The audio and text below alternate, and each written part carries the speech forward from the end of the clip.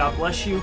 Thank you for coming to Sons of God Ministries, where tonight we are starting this new series on the geoengineered revelation prophecy and the controversy of Zion. Tonight we are going to be starting this series with a big bang. We're going to be starting right out of the front gate with the coming of the Lord Jesus Christ and how he returned in 70 AD, and scripture proves it. And then we're going to show you how they are going to actually try to create a deception to bring a false Jesus onto the scene. Now, tonight, what we're going to go ahead and do is we're going to go ahead and lay a little bit of groundwork on the scriptures. Then we're going to go ahead and show you the steps to Project Bluebeam. We're not going to jump into depth in all these steps. Actually, throughout the next couple of weeks, we will be jumping into the depth within all these steps so that you get a clearer understanding of what is really going on and what is happening within our world today. But without further ado, what we're going to go ahead and do is we're going to jump straight into the scriptures.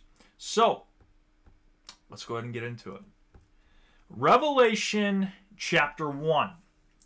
Revelation chapter 1, verse 7. Everyone always talks about how every eye will see the Lord Jesus. It says, Behold, he comes on the clouds, and every eye shall see him, even those who pierced him.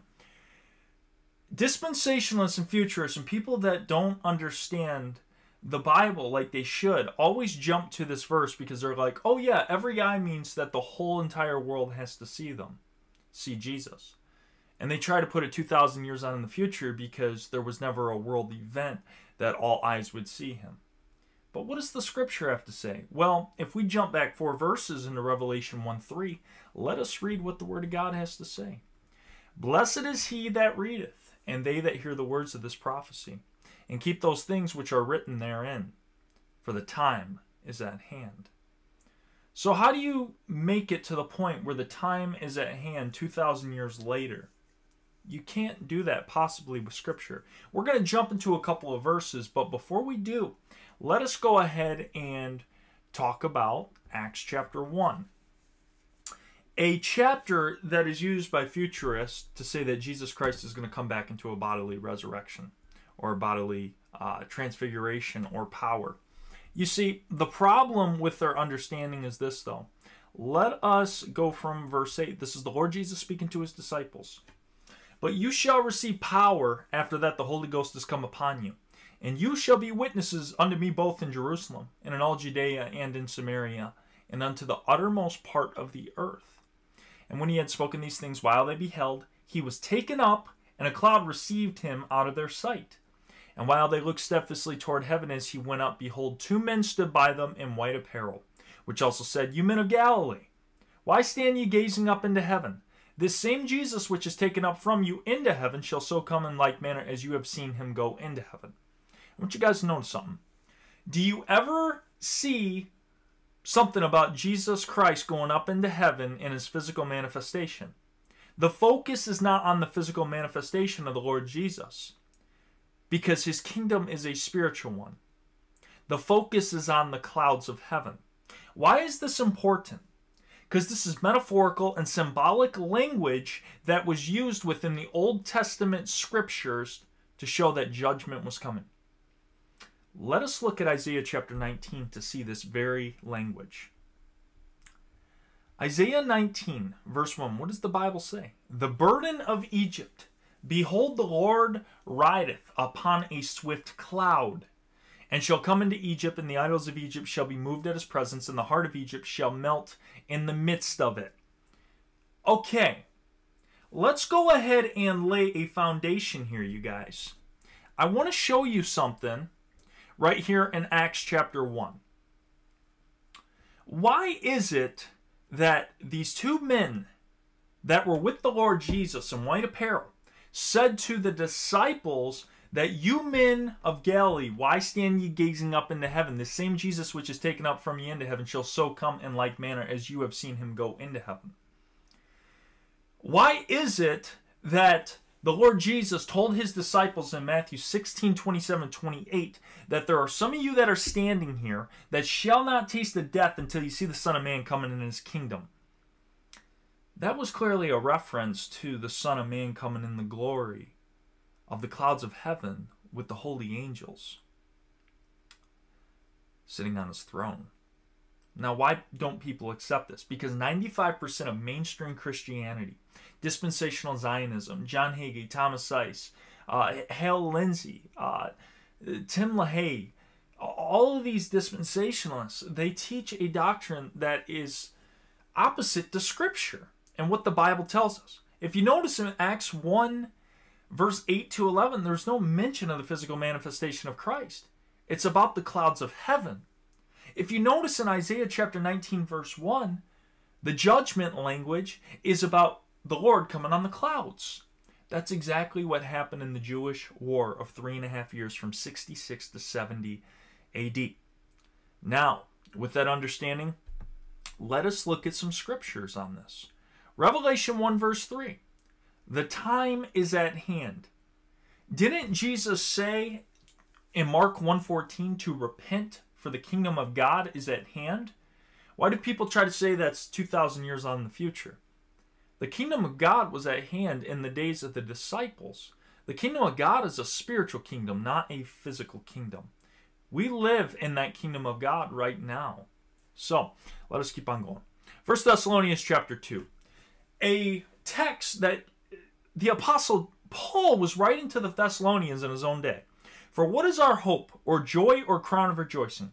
Are not even ye in the presence of our Lord Jesus Christ at his coming? Okay, he was clearly referencing that the coming of the Lord Jesus Christ was going to be something of beauty even to the Thessalonians within their own day. Why would Paul have this language with a first century audience and say that you guys are going to see the coming of the Lord, but wait, wait, wait, wait, you guys aren't going to see it till 2,000 years later? That makes no sense at all. Let us keep on going. 1 Thessalonians 5.23 And the very God of peace sanctify you wholly. And I pray, God, your whole spirit and soul and body be preserved blameless unto the coming of our Lord Jesus Christ. Your whole spirit and soul and body be preserved blameless unto the coming of our Lord Jesus Christ? Their body, you guys. Basically, what he was saying is don't fall into the lust of the flesh. Don't fall into uh, uh, basically evil and wickedness. Be blameless unto the coming of the Lord Jesus, not 2,000 years on in the future, within their own generation. Because the persecution was coming on their own generation with Nero and Titus Vespasian. Let's keep on going. 1 Corinthians 1 7. What does Paul say? So that you come behind in no gift, waiting for the coming of our Lord Jesus Christ. Why do people throw it out into a 2,000 year future when the language is specifically to the Corinthians and Thessalonians of first century Israel?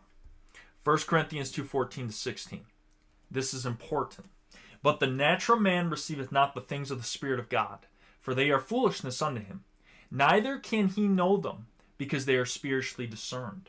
But he that is spiritual judgeth all things, yet he himself is judged of no man. For who hath known the mind of the Lord that he may instruct him? But we have the mind of Christ. Didn't the Lord Jesus say to Nicodemus that if I can't even tell you about how to become born again, if you're thinking that you have to go back into your mother's womb a second time in order to be born again, Nicodemus, Nicodemus, if I can't even teach you of earthly things, how can I teach you of heavenly things? You see, the earthly things are of the natural man, the heavenly things are of the spiritual man. That's why the Lord Jesus said that my kingdom is not of this world, because only the spiritual man can discern the things of the Spirit through the Spirit of God. Do you guys understand what we're getting at right now? I pray that this is making sense. Let's go to James 5 8. What does James say? Be ye also patient, establish your hearts, for the coming of the Lord draweth nigh. Not 2,000 years out in the future, it was coming nigh in their own generation. Jesus was coming on the clouds of judgment, just like Acts 1 8 speaks of, because this is metaphorical and symbolic language that points us to Isaiah chapter 19, verse 1.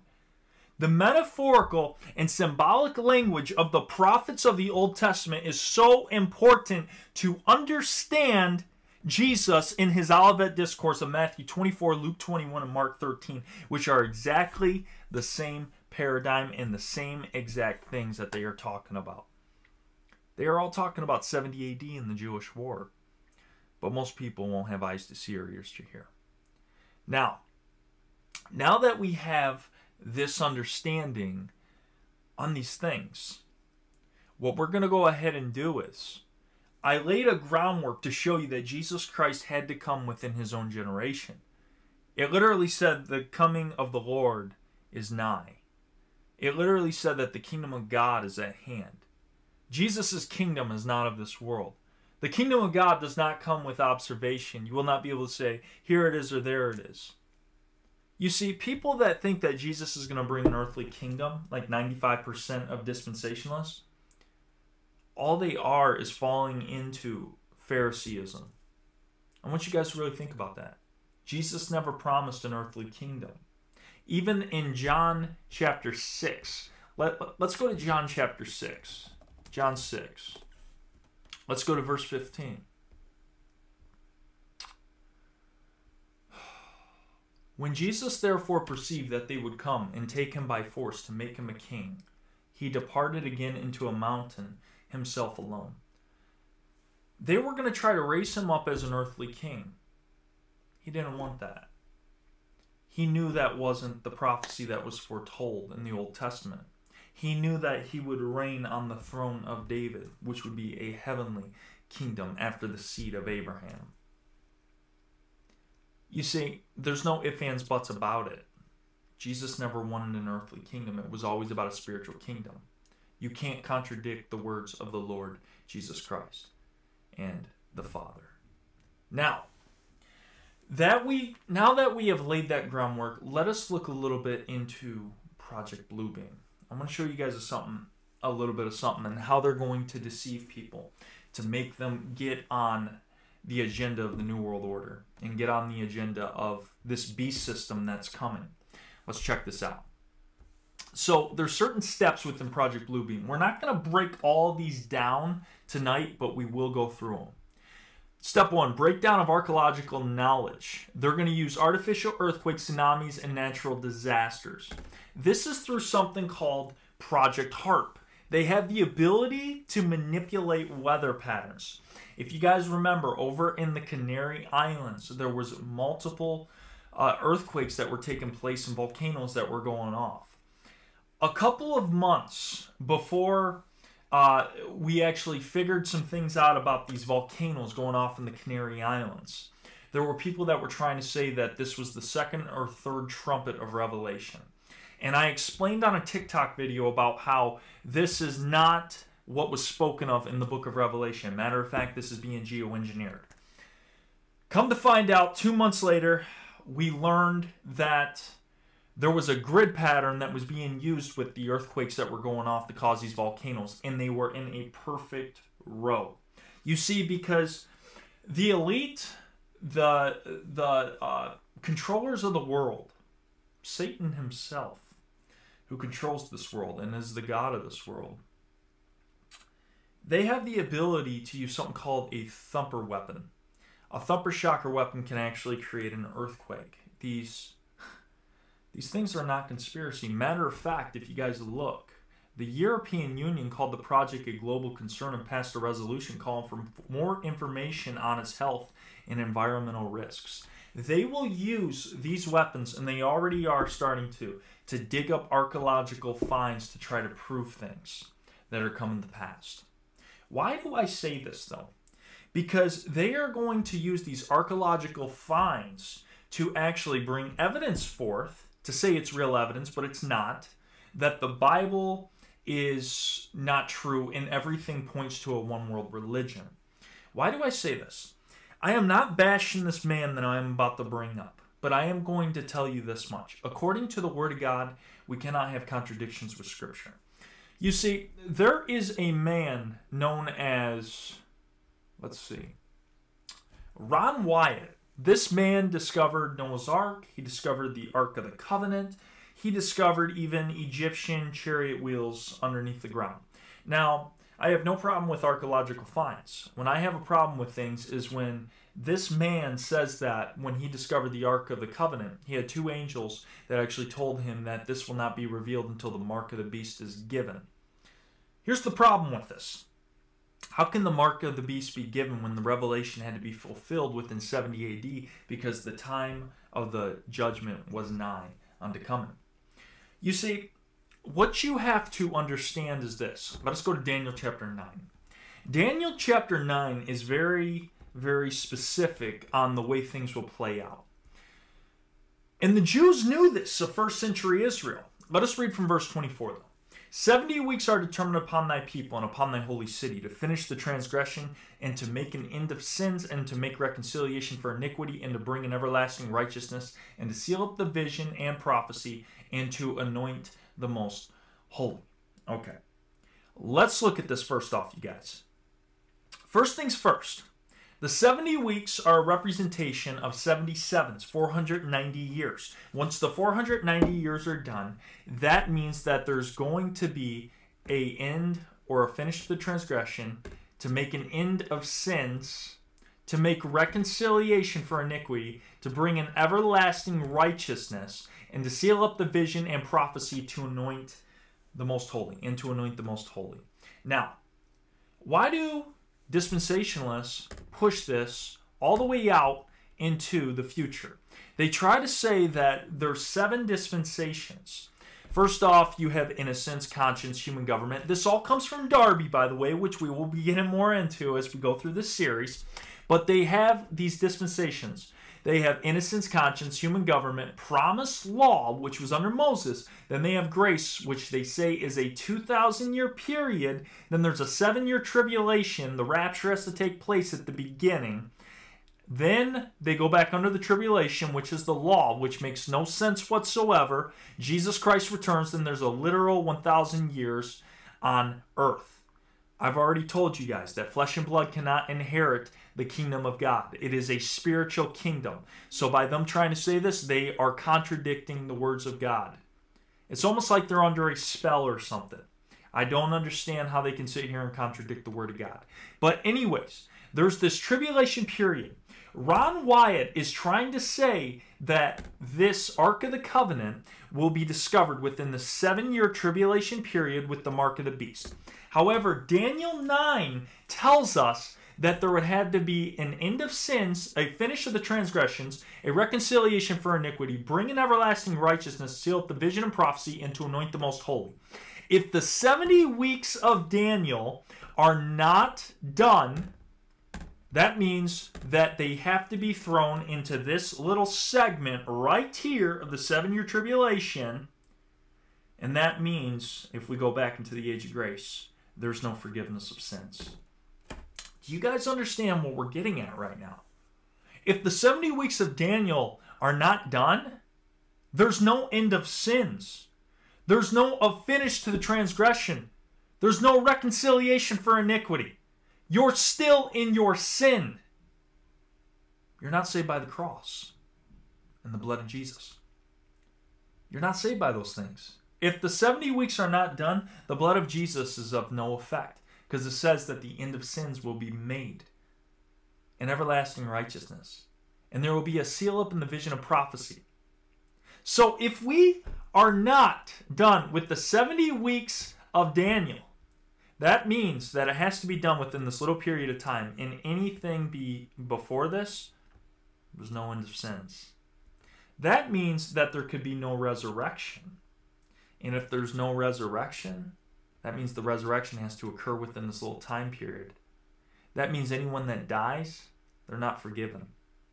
Do you guys see the problems that this creates? It creates a major problem.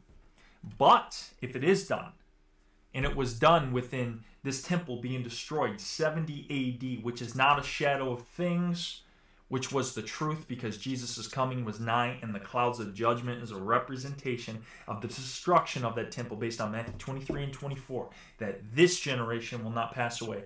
All of the bloodshed from Abel, the righteous Zechariah, will be upon this generation of the temple being destroyed in 70 AD. What does that mean?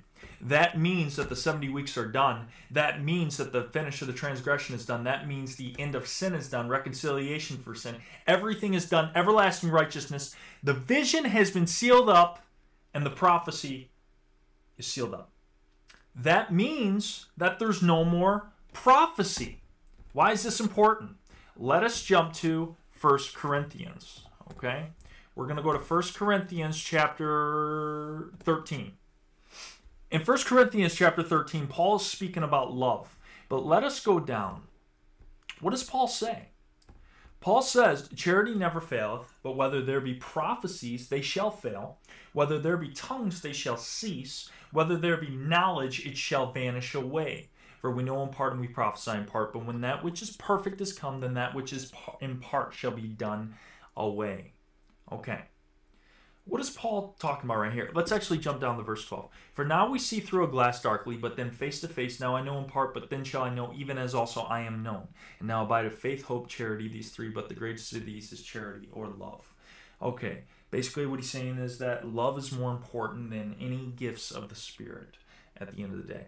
But what is Paul talking about in verse 12?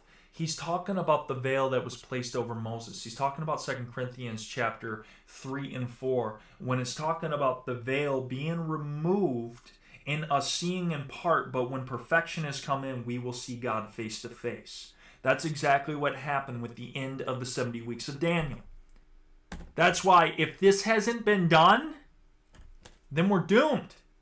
There's no end of sins. But if it is done, then Thank you, Jesus, our Lord and Savior, because he fulfilled everything within the book.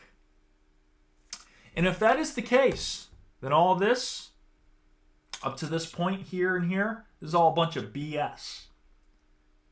But guess what? If that is the case that we are done, then the prophecy has been sealed up. Revelation is known as the spirit of prophecy, and the spirit of prophecy is Jesus. So if the vision is sealed, and the prophecy is sealed, that means revelation has been sealed and it's done according to the ending of the 70 weeks of Daniel. You guys understand what we're talking about right here. And if that's the case, there is no more vision or prophecy or whatever. God can give you dreams or visions. He can do whatever he wants to do. But at the end of the day, when a couple of angels came to this man and told him that when the Ark of the Covenant is discovered, that's when the mark of the beast will be given. That contradicts the scriptures. That's not possible. That's what we're trying to get at here. Which is why these archaeological finds are going to lead to other things where people are going to start to think that, oh, we must be in the tribulation period. We must be in this little seven year period of Jacob's trouble.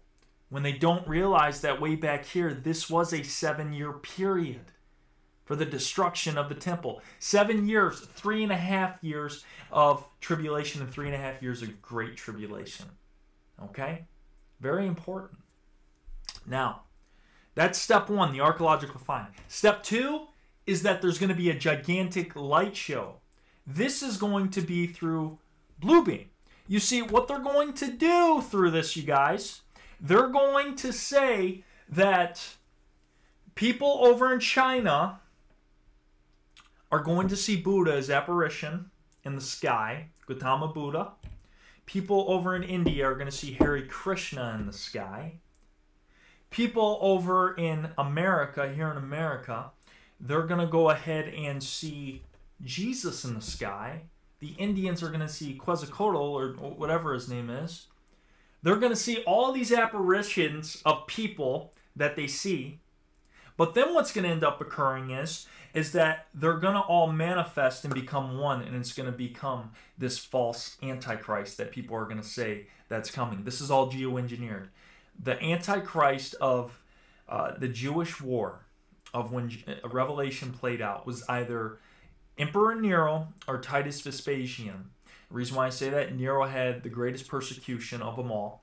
But Titus Vespasian also was able to heal people, and he was worshipped in the holy place. So there's there's a lot of things that people don't realize, but uh, there's there's a lot of things that uh, Titus Vespasian did that would coincide with him being the Antichrist. Now, if that's the case, that they're going to see these apparitions come, and they're going to become one, and it's going to be like a uh, an Antichrist figure. Let us see what John had to say first off. Okay. This is how we can nip this in the bud right here. Little children, it is the last time. All right, it's the last time. It's the last days. John was talking about the last days, the last days of Old Covenant Israel, which is what Jesus was talking about. And as you have heard that Antichrist shall come, even now are there many Antichrists, whereby we know that it is the last time. The Antichrist would come in the last time, and John said he was living in the last time. How do you say 2,000 years later you are in the last time? That doesn't make any sense whatsoever. The last time was in the days of the disciples, just like Jesus said. So the Antichrist had to be within those days. You see, what's happening now is they're geoengineering the Revelation prophecy to make it look like an Antichrist figure is coming forward to form a new world order and government through the Rockefellers, Rothschilds, through all of these things that brought Israel back into the land in 1948. But based off of scripture in Deuteronomy 28 to 30, a nation cannot come back into the homeland based on unbelief. And all the nation of Israel is is an antichrist nation that has not accepted their Messiah. That's why it's not about national salvation anymore. It's about individual salvation. And I'm not speaking an anti Semitic gospel right now. I'm telling you guys the God honest truth. Now, through the archaeological finds, they're going to cause people to start doubting their faiths. They're going to cause apparitions to show up in the air through Project Bluebeam which actually coincides with some other things about how there has been governmental figures that have come forward and said that these things are going to come forward by 2024 which i find that to be interesting which i believe the lord is really preparing us for these things. Step three they are going to use a thought conversion technology. What's interesting about that? Well doesn't Elon Musk want to implant brain chips into humans' minds. That's why we see this this uh, technocracy coming forward. That could definitely be a step in the direction that they want to go with Project Bluebeam. But not only that, they're going to use low frequency waves to actually cause these things to occur as well. And fourthly, they're going to use manifestations of supernatural entities to come forward to make it look like the end of the world is coming, but also the rapture.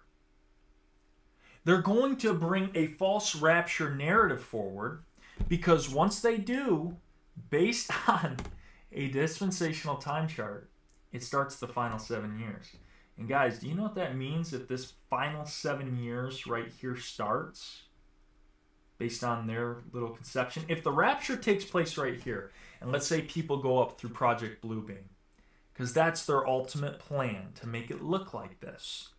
When Jesus clearly tells us in Matthew 13 that it's the tares that are taken, not the wheat, then that means that the tribulation starts and there's going to be three and a half years of rule under the harlot Catholic Church, which you're going to pretty much say some things about probably the mark of the beast being Sunday law. And then three and a half years into that, the Antichrist, this man of sin that takes an apparition in the sky, he's going to come forward and he's going to rule everything and he's going to bring a false tribulation period. Now, one thing I find interesting about this, though, is, and this is just a theory, just by speculation, I believe that even this rapture narrative may not even be on the table. I believe that it's not going to be a pre-trib rapture in a sense, but a post-trib rapture. So when they bring this Antichrist figure forward, they're going to say he's Jesus or Yeshua. He's going to put people back underneath the law according to Isaiah chapter 2, which was fulfilled in the last days that even Peter said he was living in. And they're going to bring a false narrative forward for a thousand year millennial reign. Okay? What you guys need to understand and stick with is this that Jesus said, My kingdom is not of this world. That's the main thing when it comes down to it. Jesus does not want an earthly kingdom, he has a spiritual kingdom. I pray that if this is making sense, that you will go pray about this and ask the Lord if I am telling you the truth. Because we got some very, very serious stuff coming forward, but we are going to be getting into a lot of deep stuff as it is. Now, anyways you guys basically we're just laying a foundation right here. I'm trying to show you guys how how things are going to play out. But needless to say if you guys would like to support this ministry because we can always use your support at the end of the day. We are not under tithing we are under the law of life in spirit in Christ Jesus, that God loves a cherishable giver. What you can do if you want to support this ministry, you go to our channel, sonsofgodministries.org, and you go to the donations tab. You go ahead and click it, and once you do, it's going to bring up the donation page. You can go ahead and give whatever amount you want.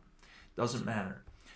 All you have to do to get back is click the shield, and you are good to go. Now, if you guys want to, you guys can look at the website. I am actually looking at creating an app right now that talks about preterism and it's going to bring everything to the forefront and it's going to bring all of the scripture together. Anyways, you guys, this is the first episode out of this series that we are creating on the geoengineered revelation prophecy and the controversy of Zion. I pray that this was a blessing and I pray that you are seeing these truths coming forward. God bless you guys. I love you, and you have a great night.